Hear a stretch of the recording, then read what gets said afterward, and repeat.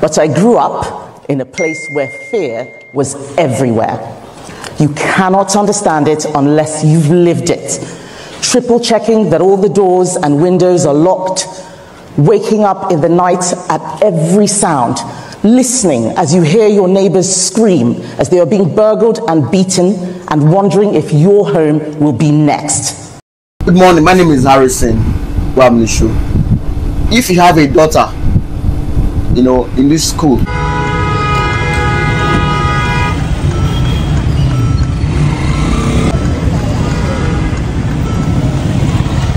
call her and you know hold her ears. That school things are happening in that school. A lot of things are happening in that school. And the school authority are not doing enough to see how they can manage it. And the ones happening they cover it up. All right this girl went for lecture and um, she never returned back the next day what they saw was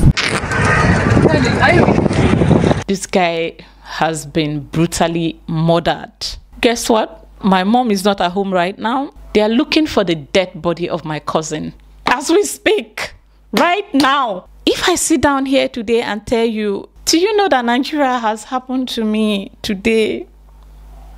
I'm, I'm acting strong because I have to be strong. My cousin was lynched to death. Do you know what happened to my community? people from other parts of Nigeria, if I talk now, there are people who come and say, You are hating, you are hating, came to my village, a poor community like mine, where people could barely access education. Like, I'm a very content person. I'm easily pleased. I'm so Ghanaian, but a lot of you do not know. All right. So, hi, welcome back to my YouTube channel. Thank you so much for clicking. That is, if you are a returning subscriber. If you're new, hi, my name is Lillian, and I hope you like this video. And if you have not subscribed, kindly hit the subscription button. When you subscribe, ensure you turn on the bell notification. Put it on that last one that says all. That way is the only way you get notified anytime I upload a video, go live, or make a post. Alright, originally the intention I had for this video is to make it an all positive shout out. Let me just say a shout out video to Nigerians that have really been fighting hard for the good of Nigeria. Nigerians that have risked their lives to do things that are not regular. Back home in my country, there's this saying, if you know if you beat them, you join them. So I wanted to just celebrate Nigerians that are beating them. I don't know if you get that, that are not joining them. But then YouTube has a way of introducing videos to somebody, especially to me, at the right time. I will say at the right time. This can only be the work of the universe wanting me to take a look at that thing at that time. So I bombed into this video on the front page of YouTube. I think we should take a look at that before we get to those that I want to celebrate in this video. I hope you have liked this video already. Yeah, but I grew up in a place where fear was everywhere.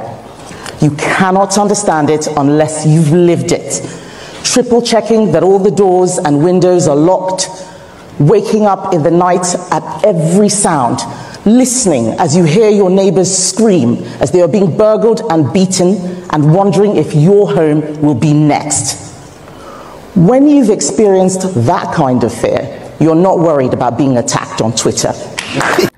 so, wait, who is this woman and which country is she describing like this?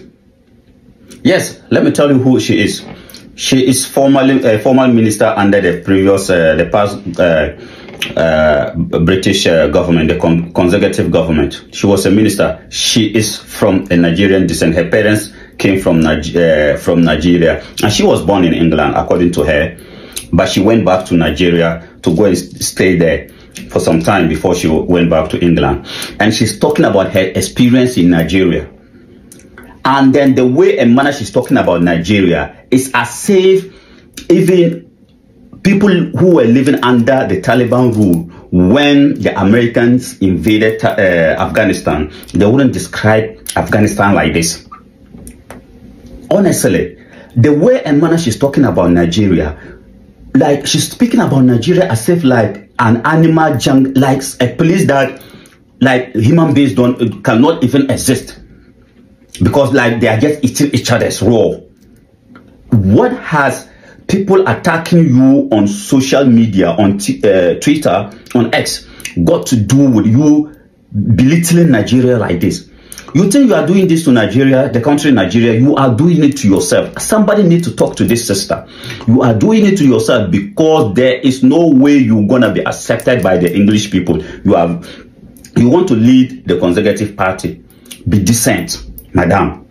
No matter no matter where you come from, as long as you are a black man, you are an, you are just a first generation um, African born in uh, England even David, uh, David Lammy, who, who ancestors were taken away from Africa 400 years ago by the British uh, Empire to the Caribbeans who end up in Britain, he still, the English people still doesn't see him to be English. Listen to what they will tell him and then at least learn from that, madam. You keep saying that you are um, African. Anyways, that is the part that is important for this video. So from his accent, I could sense that he is not Nigerian and I was right, he's Ghanaian. So because I went on to check for his other videos on the channel, I realized he's my brother from Ghana. And I said, okay, no wonder. And of course, he's one of those Africans that has issues with the Western world, with the Western countries, with whatever the Western, uh, the Western ideas and all of that. How they invaded their own tradition. I get it. I get it, bro. Keep up the good work. Okay, good luck on that. But then, why I'm making this video is I'm going to be very polite because you're not Nigerian, you are Ghanaian. And I live in Ghana, so I understand where you are coming from. You will never understand how it feels when you are not in somebody's position.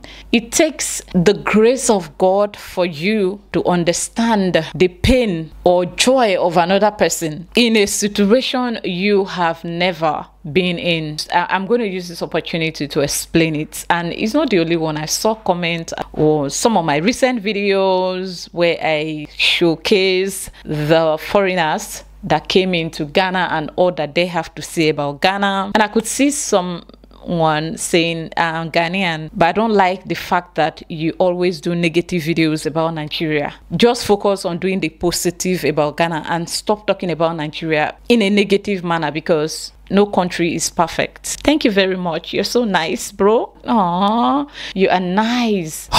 Oh, I wanted to kneel down and thank your God that you're not Nigerian yeah you have you don't know what it feels like to be nigerian and you should thank god because bro you can't take it you can't survive it i'm sorry with no disrespect meant with all due respect you cannot survive it do you know what it means do you think that i don't love my country or I'm coming here to speak up ill of my country so that Ghanaians will accept me. I see that all the time.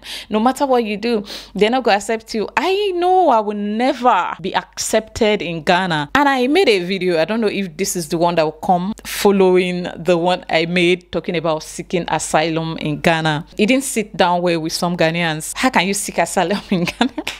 Ghanaians are dealing with their issues. You people should go to your country and deal with your issues. Asylum part of that video was a joke. okay, all right. I will never, by the grace of God, seek asylum in Ghana. For many reasons, I don't need to seek that to live here. As long as I abide by the rules and regulations, I follow all the immigration rules of the country, I obey the law of the land. I don't need to seek asylum to live here. At the labor market, uh, at the Ghanaian labor market, that I was okay, okay, ah, I need that to get. No, I don't. I'm okay with what you guys are giving to me, the support you're giving to me on my YouTube channel. I'm a very content person. I'm easily pleased. I'm so Ghanaian, but a lot of you do not know. I'm easily content and I live one day at a time. So, for those of you judging me without knowing where I'm coming from, I think you should calm down. Okay, the asylum issue is a joke, and my videos are not at any point. I mean, I'm not targeting at getting the Ghanaian papers to be here. All right, I can be here. This is also my home. For God's sake, God wants me to be here, and I'm here. I don't have any issues, but sometimes these comments, eh, they make me feel bad for you're misrepresenting the real Ghanaian out here who would smile and give you a helping hand, who would never leave you stranded, who would never say no to you when you seek for help if they have it that consoles you when you are crying. Hold on, I'm targeting at something. And that thing is for those judging me and judging Nigerians for speaking up about their pain. Bro, let's take a look at this video. Like I earlier stated in the beginning of this video, I wanted to just celebrate Nigerians because it's not like I can't see that we have incredible Nigerians that already have you know they have they have sold their lives they have given their lives for the good of nigeria. I, I can see them i know them. And it feels like okay all the time i'm focusing on the negatives. What about these people? So this video is targeted was rather targeted at celebrating them but this came up and i felt like okay let's do this at once. For those who do not understand what it means being nigerian and coming out here to speak may you never understand. Yeah, I think before we even get to the main video, all of these ladies displayed on. Good evening, my name is Harrison Gwamnishu. I received this distress message from a follower who sent it via WhatsApp and uh, he wrote, My name is Callistus. I have a sister of mine that was killed. She visited a guy whom they schooled together in Madonna University. She went to his house in Lugbe in Abuja here and that was the end of her. We need help in this fight please. We need justice for priscilla. So 24 year old priscilla left her house to visit you know her male friend and um, that was end of her nobody knows what happened. All right. Now the young man has been arrested by the police and he told the police that priscilla had an accident. This is the man this was when priscilla liked instagram uh, post this is priscilla. And this is priscilla dead body. The young man was arrested by the police detained. No autopsy was conducted on priscilla's body. And the young man is now walking freely. They have released him from custody. They've released him from police custody this incident happened in Lugbe in Abuja. No autopsy was carried out. Nobody knows the cause of death. What happened to Priscilla? The young man said his accident. He could not provide a vehicle Priscilla uh, was in when the accident occurred, or even on, or even a motorcycle. All right. So currently, nothing has been done. Priscilla's dead body is at the mortuary and this young man is walking freely. I'm reaching out to the authority with this, uh, with using this platform. I believe so much that with your contact, with your post, with your share, you can assist this family in ensuring that justice now, is served. Now that is one Let's take a look at this. Good morning. My name is Harrison Wamnishu. If you have a daughter, you know, in this school,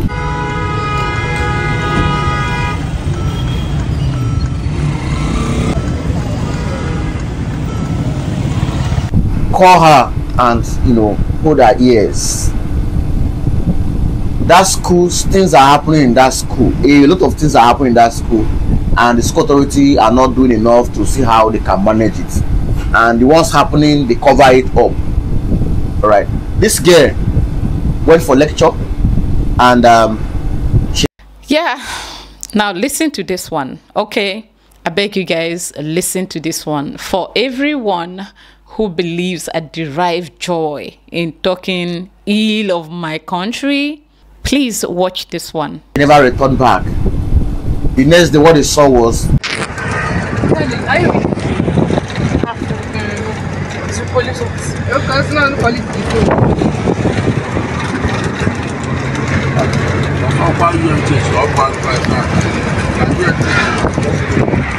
a skull has, has been removed from my head. A girl that went for a lecture. This is not the first case we are getting from that UN in that school. A lot is happening in that school. A whole lot is happening in that school. Alright. And I told you guys how I traveled to the school. I traveled to, to UNM when a girl was kidnapped. A girl they called on the phone, man, take away B. Not just a girl, to a guy, a boy has also been kidnapped from that same school. A whole lot is going on in that school. If you have, if you have a daughter, from, a daughter in that school, both male or female, caution them, talk to them. Just talk to them. Now, this is like the University of Ghana.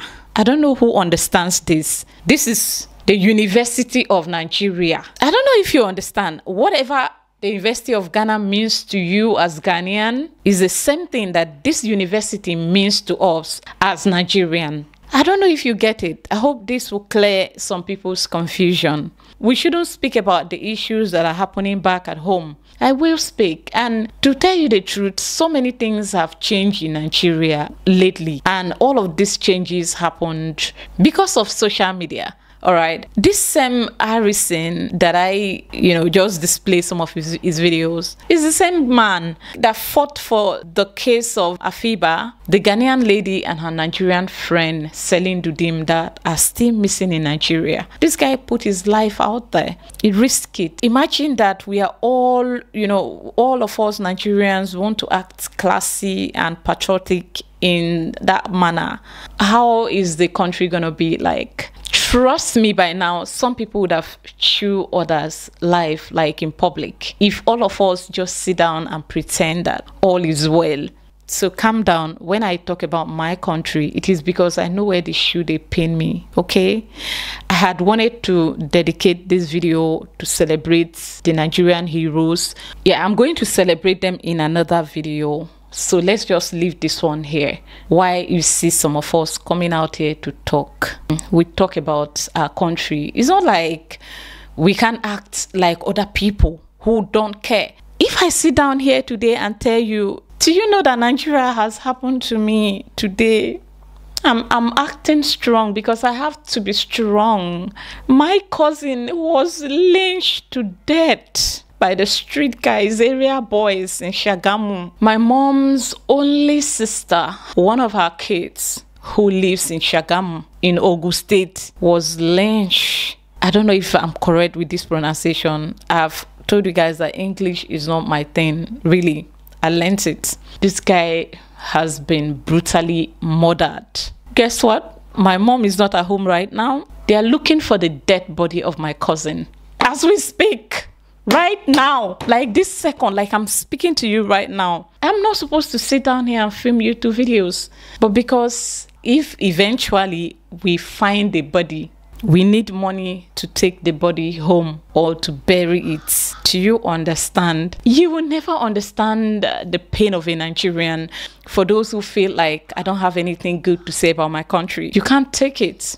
This can never happen. This kind of thing can never happen in Ghana. Okay, fine, it do happen at some point, but how do the police react to it? What kind of action do they take? You can't survive being Nigerian. Okay, so when you see me, don't judge me. Do not. I appreciate that you guys are like my family, the people I come out here to talk to. It's kind of consoling to know that when you speak, when you post a video, there are people who watches these videos. All right. It's not that simple to be Nigerian. Trust me. A lot of you are amazing Ghanaians and other African countries. Being Nigerian, I'm sorry not to disrespect you, but you cannot survive it. It is beyond the economic hardship. I'm not talking about economic hardship of my country. It is not easy anywhere. In Ghana here, it's not easy. it's not easy for me as a provider for my family is hard. I mean, as the breadwinner of my family, is hard. Sometimes my electricity will run out, okay, before I can get money to buy my prepaid. But guess what? I stay in the dark in peace. Sometimes I don't have enough to eat. But guess what? I drink my gari in peace. These are the issues. So you guys support me and judge me less. And to those of you that do not judge me because you understand. Thank you. Okay, my videos are not to paint Nigeria a certain way because I want to achieve anything from Ghanaians. I come from a community where human we are important, right? Like uh, your people would rather have you around than have you gone. Okay, I'm that one rebel in my family that stays out of, outside of okay that stays away from my family like apart from my younger sister in Lagos who is married, and my family kind of feel comfortable because she's with her husband. And then, of course, my brother, whom I don't know where he stays right now in Nigeria. I'm the only one outside of Nigeria. And my mom support me to be in Ghana because of how my mental state whenever I'm in Nigeria. And I understand why I wasn't happy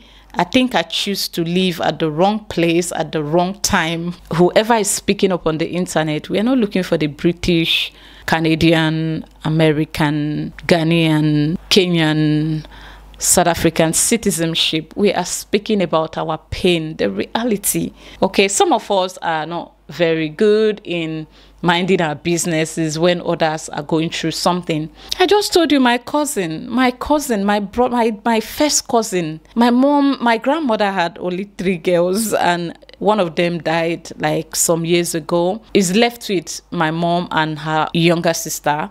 So now my cousin, bettered by my auntie, my mom's younger sister, is dead. And they tell you, say, we can't find the dead body. Forget the makeup I'm putting on. I'm supposed to be mourning. I'm supposed to be crying. But these days, I think the older you get, the stronger you become. I don't want to bother you guys with all of my issues. Okay. You see me come out here sometimes. It's not that great in there. But I must come out here because this is where I work. And coming to bother you guys with my struggles, tears, like I used to do before, I don't think it's the right thing to do because we are all dealing with our issues, okay? So when Africans or Nigerians are speaking, it's not because they need anything from the country they are speaking highly of. Some people will complain if you are in my position. It's not that easy to be Nigerian, it's hard. Let me tell you a story before I end this video. Three months ago, my best friend and I had a long conversation. And do you know what happened to my community? People from other parts of Nigeria, if I talk now, there are people who come and say, You are hating, you are hating, came to my village a poor community like mine where people could barely access education like or healthcare. A poor community like that people came in there and then started to trick them to collect their money, defrauded them. And how did they do it and get away with it? They go to the local market and tell these local women, oh, okay, bring, let me use it in cedis because most of my subscribers are Ghanaians. Oh, bring 1,000 cedis. Then in the next four days, we will give you 1,500 cedis I mean, this is a woman who would trade for months before she can see that amount of money. What do you expect? She like, okay, ah, I get 1,000 CDO, that's 100,000 naira. Make I bring them out, use them, do the, so that I go get the money. And unfortunately, I wasn't there because if I was there, it wouldn't happen. I won't let them do it. The worst that will come to the worst is that hmm, the community go ban me I go take them later. When they do their investigation, they go understand why I did what I did because I was going to get them arrested. I won't even allow the women to participate. I will spoil the business for them. But I wasn't there. A lot of people like me are not around. So we had people who are good at minding their businesses. So they didn't do nothing about it. So these guys came, got the monies from, you know, they did the first week, they paid the women, and the women were like, oh, wow, happy. Men and women, basically. Oh, wow, this thing worked. So they brought more money. Some went to borrow and bring and give to these people and then they, they were waiting for them to come out now as usual to pay them. They didn't know that in the night these people have quickly gathered all the monies that they could get and run away from my village a community as poor as mine. If you see my people you will you will want to help because it's bad. I'm not one of those Nigerians that come here and say, I'm from a rich family, I'm from because I'm not. All right.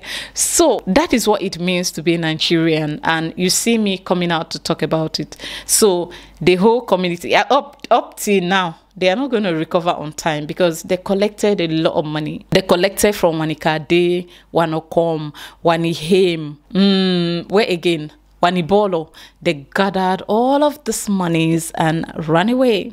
Nigerians to Nigerians. Do you understand? Does that happen in your country? Will you allow it? No, you wouldn't. You won't allow it. But in my country, people do that to other to others. Yeah, the video is already long, so I'll catch you guys in my next one. To do.